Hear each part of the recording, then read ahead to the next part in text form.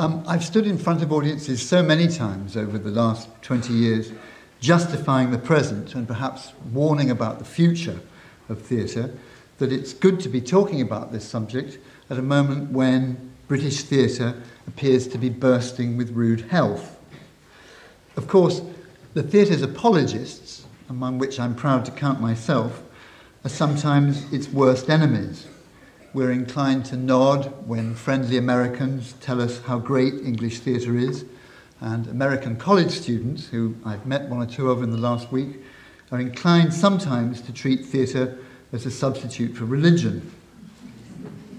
And they would have us believe that theatre is to England what spaghetti is to Italy, an ever present national institution. Of course, this is untrue. Spaghetti was invented in 1888. I have no idea what the Italians did before that. and far from there being a golden thread which stretches in an unbroken line back to Shakespeare, the modern history of theatre is a pretty spotty one. There have really only been four periods in modern English history when the theatre has been a viable force and has fulfilled its function of holding the mirror up to nature. Shakespeare and the Jacobeans from the late 1590s until the theatres were shut in 1641 is clearly one period. And the period we call Restoration, which begins in fact 15 years after the Restoration in 1675 and which goes through to 1710, with some 35 years of uh, enormous fertility. The English response to Chekhov and the Scandinavians, which includes Wilde and Granville Barker, is a period at the end of the 19th century and the beginning of the 20th. And finally, the fourth is the modern period, which dates from George Devine, Joan Littlewood, and the establishment of the Arts Council uh, after the war and began in 1956. The paradox that theatre is caught in is that in order to, to succeed, it has to please, but that in order to be pertinent, it has to provoke. Art is by definition instructive, a word that we're increasingly alarmed by, and entertainment is by definition reassuring. Balancing this equation is the work that the theatre has to do on a nightly basis. Waiting for Godot, for example, contains uh, some fairly bleak nihilist philosophy. But it also has two tramps sniffing each other's socks, the basic stuff of music hall. The dilemma is that if theatre becomes too provocative, it is censored, and if it becomes too bland, it is quite rightly dismissed.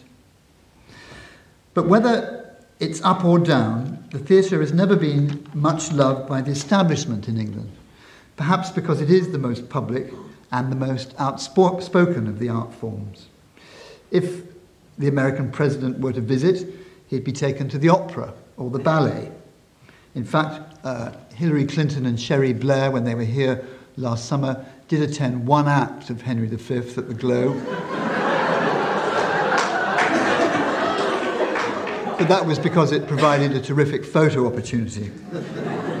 And that just about says it all. But if Mitterrand came, he'd be taken to the ballet. Uh, whereas in Dublin, Mary Robinson would invariably take visiting dignitaries to the best new play in town. Cynics might point out that this is because there's a certain shortage of ballet and opera in Dublin. but I prefer to think that the Irish president knew that playwrights were the crowning glory of Irish culture. But perhaps it's also because there is a spirited interchange in a small country between artists and politicians. Uh, I was once witness to a telephone conversation between an Australian friend and colleague who was uh, running the Sydney Theatre Company and the then Prime Minister, Paul Keating. I could hear my friend relating that there were one or two problems, a few productions that underperformed, and that they were looking at the end of the year at a rather sizable deficit.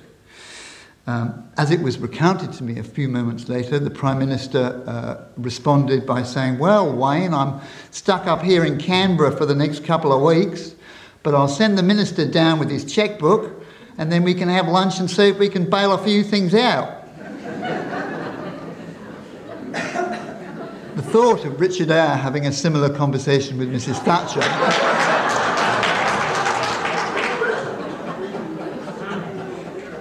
Or indeed even of Trevor Nunn having access to Tony Blair in quite the same way, belongs to the world of musical comedy. the final judgment, however, that always shows with great accuracy uh, what we think of a culture and the value society places on culture is the icons we choose to place on our currency. Shakespeare made it briefly onto the £20 note, but has now been displaced by Faraday. Whereas in France, Corneille, Racine, Molière, Voltaire are never off the currency. In fact, and I'm going to digress here into theatre history, Charles II is probably the last establishment figure who really had a genuine love of theatre. And a look at the theatre's diminishing uh, power as a social force from 1675 to 1775 is salutary. Charles II was very much a hands on patron of the King's Company. He was a regular theatre goer, attending sometimes three times a week. And each time he came, he paid in modern currency the equivalent of over £3,500 for the royal box. He was close to the actresses, as many of his contemporaries observed.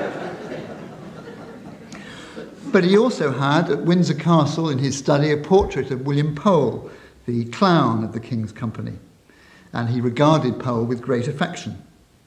And when Nathaniel Green, the company's tragedian, hit writer's block, Charles sat up all night and sent him by special messenger the next morning two suggested plot lines.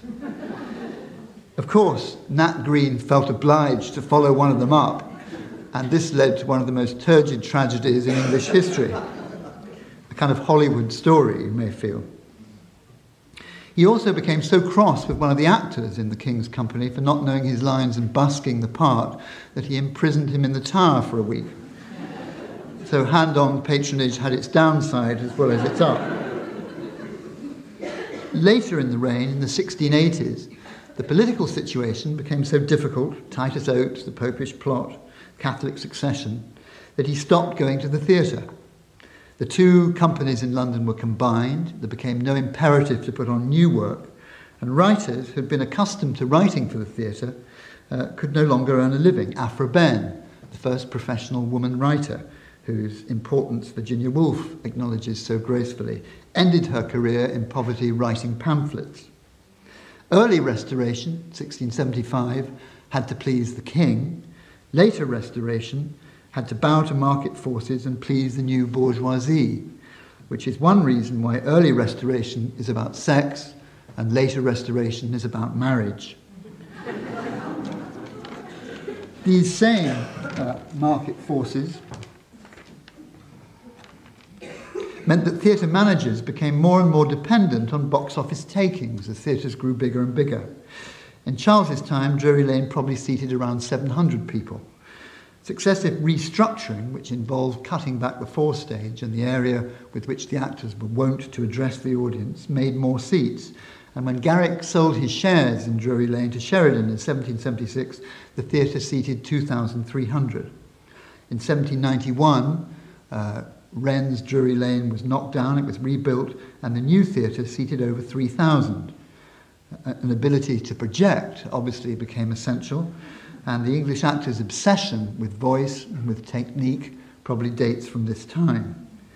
Uh, Mrs. Siddons, however, continued to speak and perform as she always had done, albeit, noted one polite contemporary critic, at a disadvantage in that she is not everywhere heard.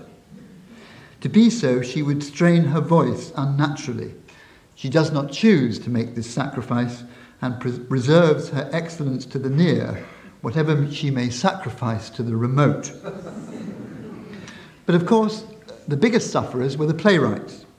Larger theatres made it harder and harder to take risks at the box office.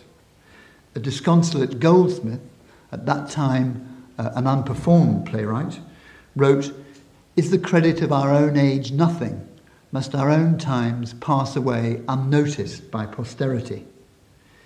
The theatre manager's dilemma is caught in a prologue that uh, Samuel Johnson wrote, in which Garrick spoke before a performance of Merchant of Venice. It's a familiar uh, refrain.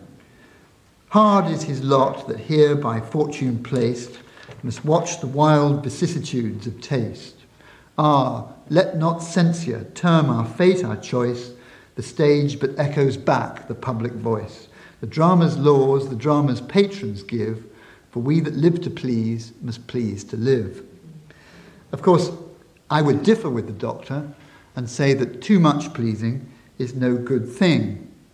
Indeed, Garrick's determination to make the theatre respectable finally made it subservient. So you have the irony that the glory of English acting was also the demise of English writing. Any society that debates performances rather than plays is tipping the equation fatally towards entertainment. Market forces made Garrick's Drury Lane a theatre where Midsummer Night's Dream was renamed The Fairies and where King Lear has a happy ending. Um, Cordelia marries Edgar and uh, Lear goes off to a retirement home to play golf. Here's Garrick on cleaning up Hamlet. He says, I've determined to rescue that noble play from all the rubbish of the fifth act. I've determined to bring it forth without the gravedigger's trick, Osric, and the fencing match. When Garrick finally retired, he said he didn't mind retirement because he was going to sit down and read the works of Shakespeare. And uh, Dr. Johnson commented, Well, that is a thing you have never had time to do anyway. The other factor, of course, which emasculated 18th century theatre was censorship. Of course, theatre had always censored itself. Writers were smart enough to know that they were tolerated, but that they were being kept on a short rein. Restoration poetry abounds in four letter words. I believe Rochester, and Germaine Greer is about to publish a book on him, was a great poet whose influence on Dryden, Pope, uh, Tennyson uh, was enduring, but whose poetry uh, became marginalized because his robust language prevented his work from being taken seriously or indeed from being taught in schools. Theatre was cannier, no four letter words in Restoration plays. But the raw indecency of early Restoration and the prolonged life of the rake as a central character led to Jeremy Collier's influential A Short History of the Immorality of the English Stage in 1698.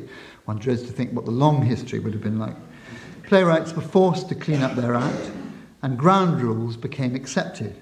George Farquhar lamented, We now have four acts of lechery and one of sanctimonious humbug. The tragedy of all comedy is that it must end in marriage, whereas the comedy of all tragedy is that it must end in death. But in fact, it was a series of political confrontations that led to the official establishment of censorship. The Beggar's Opera in 1729 was probably the biggest theatrical triumph of the century. But it contained many references to corruption and cronyism and the corruption and cronyism of Walpole's government. Walpole was himself at the first night, and the concluding lyric went, When you censor the age, be cautious and sage, lest courtiers offended should be. If you mention vice or bribe, 'Tis so pat to all the tribe, each cries that was levelled at me. Every eye in the house turned on Walpole uh, until the applause died down. But as the cheers subsided, it's recorded that he called out one word, encore. And his wit deflated a confrontation uh, for another 10 years. But finally, Fielding in 1737 wrote a play called The Historical Register, which pokes fun at the terms of a peace treaty, now totally obscure. But it, it provoked a bill which was finally introduced by the Lord Chamberlain, which gave him powers to censor and ban the work in plays. And this lasted until 1966 and effectively emasculated the English theatre for generations. In fact, you could say that the great English novel, the great novel of social concern with Fielding himself leading the way, was founded on the grave of English theatre. A print, an early print of Hogarth's in 1724 shows the ghost of Ben Jonson rising through the trap door of Drury Lane, his hand unmistakably beneath his nightshirt so he can piss on the vulgar new stage machinery uh, which is present on stage and which the managers there are passionately discussing. Spectacle replaced wit and language on the English stage. The caption beneath the print says, Our programme will conclude with the hay dance performed in ye air. Note that there are no conjurers concerned. The bricks, rubbish, etc. will be real, but the ex- excrements poured upon Jack Hall will be made of chewed gingerbread in order to, in order to prevent offence. You may think chewed gingerbread would be offensive enough. but above all, a sense of loss characterises the pervading 18th century view of theatre. Hogarth knew that a, that a theatre finally designed in order to prevent offence was indeed a small and watered down thing, scarcely worth defending. So, why am I banging on about the past so much when this conference is concerned about imagining the future?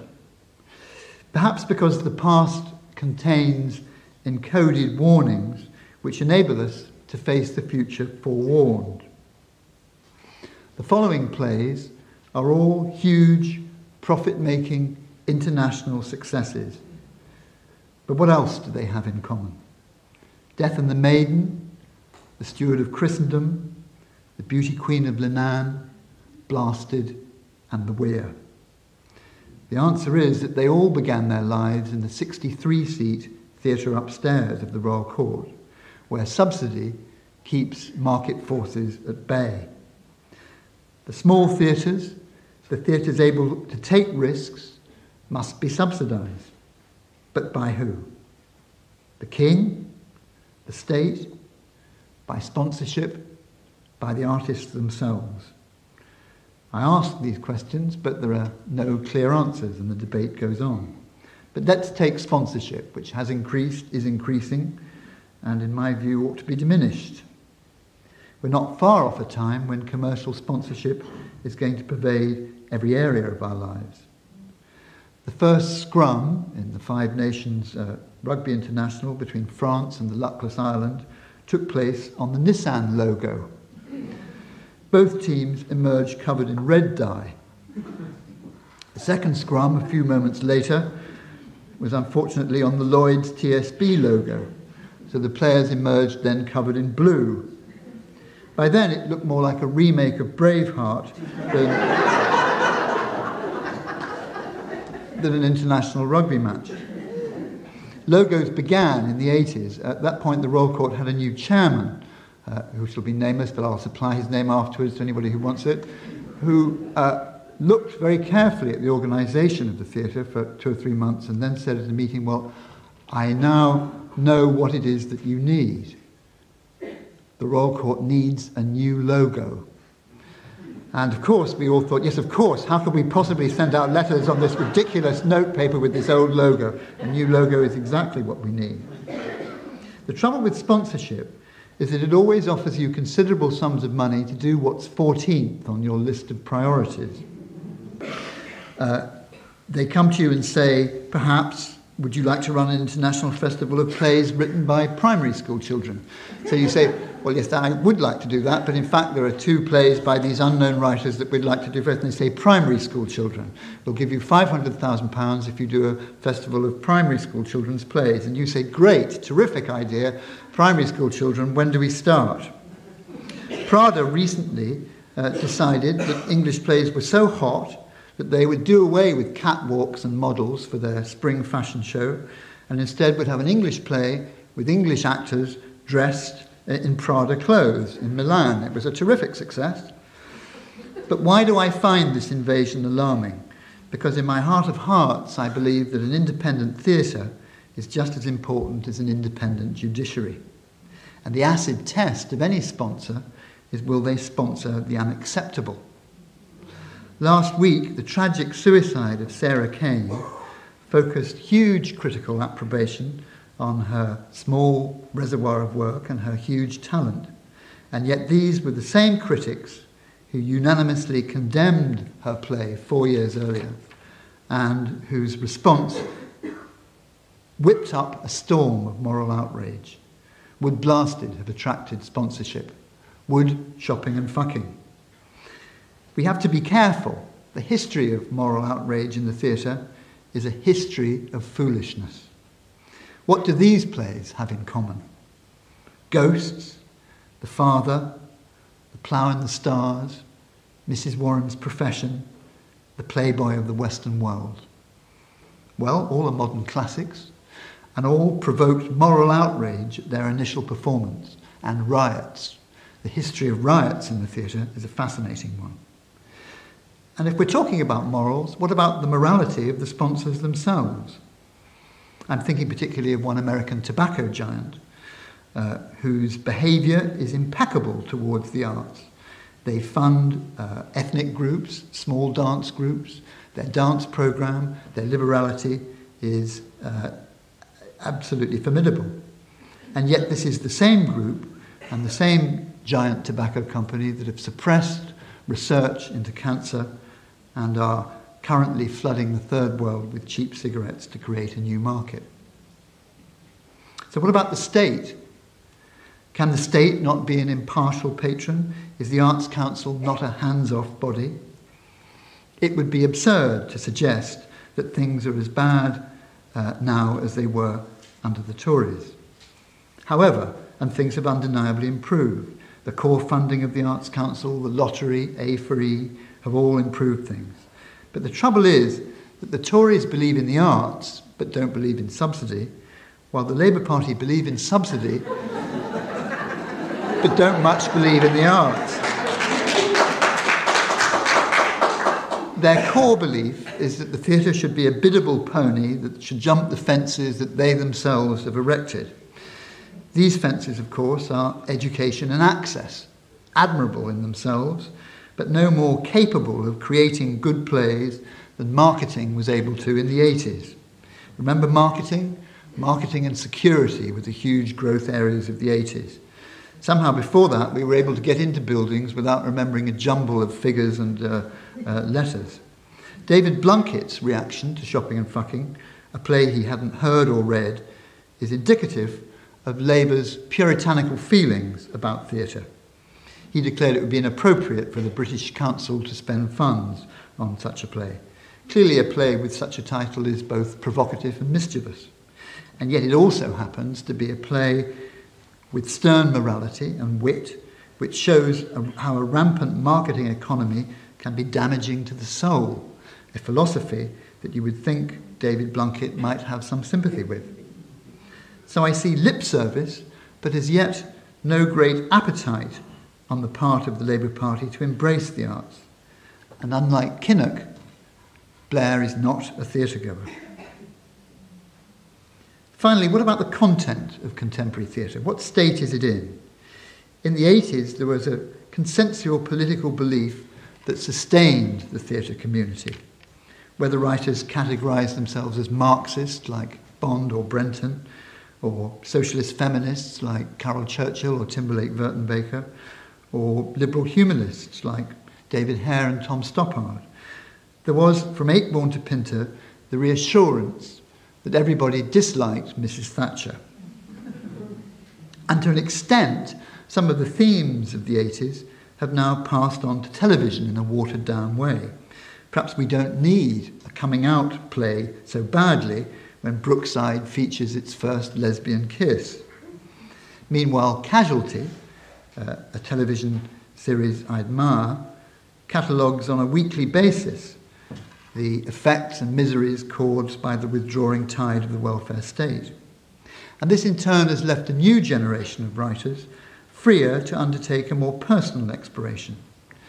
The downside is that cynicism has replaced idealism, but if there's a lack of scale, there's also an absence of a predetermined approach and it has to be said, it's been generally welcomed that writers have dropped their political baggage of the 80s and have returned to hardy perennials like uh, disintegrating relationships.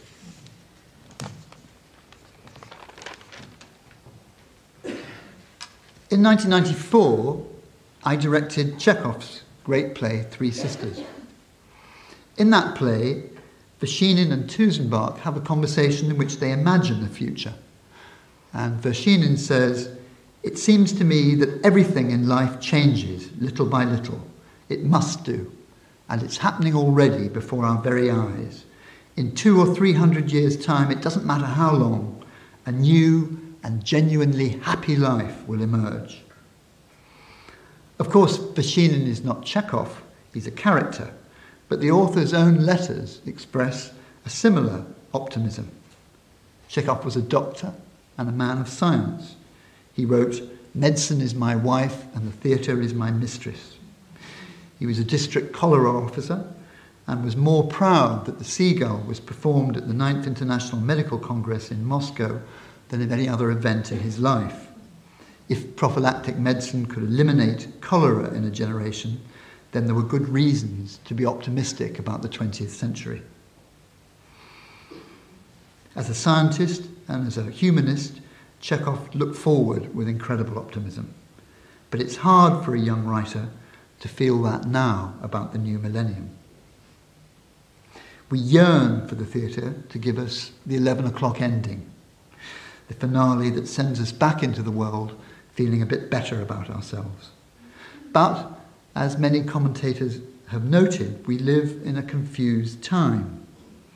We live at the end of a century where all the great beliefs science, Christianity, socialism, feminism, the family have been challenged and in part perhaps dismantled. Talented younger writers like Judy Upton, Sarah Kane, Mark Ravenhill are working a new genre. Their observation of modern life shows dysfunctional, disturbed, and disaffected fragments of urban life where political beliefs, spiritual expectation, job fulfillment, and even romance are notable by their absence. Instead, there's a panic kept at bay by wit and style and by language. I've mentioned uh, shopping and fucking, and it's probably a tribute to the power of language that the sign company employed to erect the play's title over the theatre in Shaftesbury Avenue declined the job on moral grounds. Maybe those restoration writers had a, a, point about language. In fact, when the script of Shopping and Fucking arrived uh, through the front door, my daughter opened the uh, package and said with great excitement, Daddy, it's shopping and the F play. It was a powerful word that she recognized. I don't know why I'm telling this story to um, conference of analysts, but I've started, so I'll finish. A few years earlier, I'd been preparing her for bed, and um, it, I had one of those circular conversations that fathers have with their daughters. She said, Daddy, what's the French for head? So my French mastered that. That went on to what's the French for arm? I think she was six at this time. And then finally she said, What's the French for fucking? Now, I said, Well, Kitty, um, I don't quite know what that means in English. Perhaps you'd better explain what it means to me. so she said, oh, Daddy, you know. so I said, No, I don't know. Perhaps you'd better tell me. So she said, Well, it means when you want someone to do something very fast, so you say, fucking get out.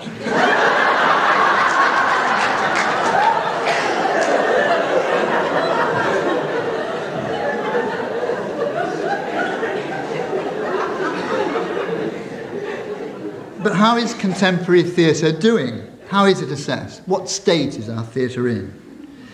There is, in England, as there always has been, a drizzle of critical antipathy. Martin Amis is not the only writer recently to have concluded that theatre writing contains little literary merit. Uh, Theatre's got an inferiority complex over film because it is inferior, sneered Tony Parsons in the last late show of 1998. While the Sunday Times can always be relied upon to balance the views of their excellent theatre critic, John Peter, with articles by A.A. Gill or Brian Appleyard, attacking the boredom, discomfort, and triviality of the theatre, or indeed, as recently pronouncing Arthur Miller's oeuvre as entirely overrated. In fact, when articles attacking the theatre appeared in successive weeks in his own paper, John Peter led a counterblast by commenting wittily, the postmodernist always knocks twice. However, there's no doubt in my mind that British and you have to say Irish theatre is currently the envy of the Western world and has become, to use uh, an 80s term, a huge exportable commodity. Last Sunday's copy of the New York Times contains a discussion between three senior critics that is openly envious of the depth and variety of work currently available in London. The article is prompted by the presence or imminent arrival in New York this season of Blue Room, Blue Heart, Electra, Ashes to Ashes, Amy's View, The Weir, Via Dolorosa, The Beauty Queen of Leenane, and Closer. Here it is. And Ben Brantley says he, he has a revisionist view of shopping and fucking. He, he can't call it shopping and fucking, he calls it shopping and dot dot dot. But he says, I don't think I'd ever like it, but I can see now what the buzz was about because there's an energy, there's a sense of connection of the theatre in England with its audiences that we've lost. Uh, what's coming over here from England feels reinvented. It's coming out of the mind anew. They write in response to something visceral. Politics and ideas are still big themes in English plays. Uh, and he goes on about David Hare, saying he's responsive, as are other English writers, to what's going on in the world around them. There is a sense of a dialogue with the audience that you don't get with American theatre now. Uh, London has a better theatre culture, a theatre culture that doesn't exist in New York. They also have a whole raft of actors who do nothing but work in the theatre, and that gives them an ability to do things that we could never match. In fact, what happens in New York is that however important the play, however grave and serious the subject, whatever it's about, it's immediately subverted by the much more important topic of will the New York Times like it? Nor is current admiration for English theatre restricted simply to New York, and when I say English, I do mean Irish too. British writing is currently much acclaimed in Europe, and I have invitations at the moment to conferences in Brussels, Copenhagen, Amsterdam, Berlin, and Palermo, all to discuss the new British writing and its vigour. And it's a bitter irony that these meetings will principally, I'm sure, debate what national support structures should be put in place to encourage theatre writing.